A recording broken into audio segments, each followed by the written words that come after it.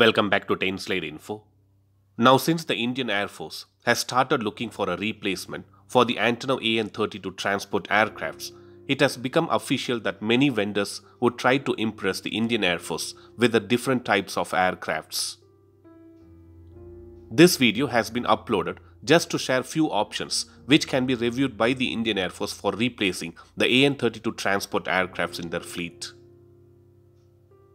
If we check the fleet strength of Antonov AN-32 in the Indian Air Force, 125 AN-32 aircrafts were procured initially and currently only 105 are in service. Even though 35 aircrafts have been upgraded with modern avionics equipment, new oxygen systems and improved crew seats, there is a need for replacement for these aircrafts very soon. Before I list down the options which come to my mind, let's quickly do a recap of the RFI which has been floated by the Indian Air Force for medium transport aircrafts. The medium transport aircrafts which would be procured has to be made in India as a joint venture of a foreign company. These medium transport aircrafts should have a payload capacity of 18 to 30 tons and it can either be a turboprop or turbofan powered and it should have the capability to operate on semi-prepared runways. The vendors have to submit the response by March 31st along with a rough estimate of the cost for 40, 60 and 80 aircrafts and they should be ready to start the delivery from the 36th month of the contract signing. So that was a quick recap of the RFI which was floated by the Indian Air Force for finding a proper replacement for Antonov AN-32 transport aircrafts. Now let's begin with the various options which can be considered here.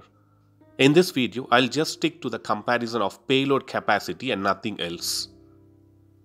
The first option, which will come in everyone's mind, is the Airbus C295, which is already being procured by Indian Air Force for replacing the HS748 aircrafts. As per the requirement mentioned in the RFI, the aircraft should have a payload capacity between 18 to 30 tons, and if we see the payload capacity of the Airbus C295, it's between 7 to 10 tons which is not falling under the requirement of the Indian Air Force. Next aircraft in the list is the Airbus A400M Atlas. The payload capacity of A400M is 37 tons, which is exceeding the requirement mentioned by the Indian Air Force in their RFI. Since Airbus A400M falls between the Boeing C-17 Globemaster and the Lockheed Martin C-130J, this aircraft will outperform the requirement of the Indian Air Force RFI and due to this it won't be considered according to me. Next in the list might be the Lockheed Martin C-130J aircraft. If we take the payload capacity of this aircraft, it is well within the limit which has been specified by the Indian Air Force. It's somewhat between 20 to 23 tons and this is exactly between 18 to 30 tons payload capacity which has been mentioned by the Indian Air Force. Another good thing is that these aircrafts are already available in the Indian Air Force fleet so adding more would be a good option for them.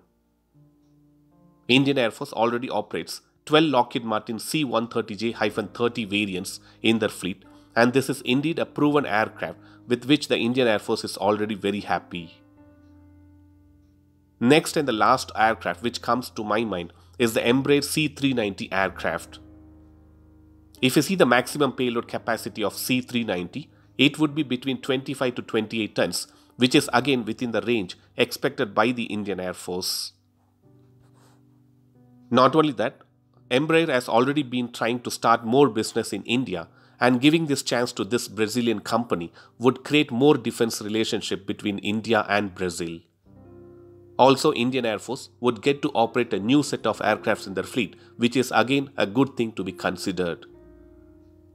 According to me, either Lockheed Martin C-130J or Embraer C-390 Millennium aircrafts would be the right choice for Indian Air Force in order to replace the Antonov AN-32 aircrafts.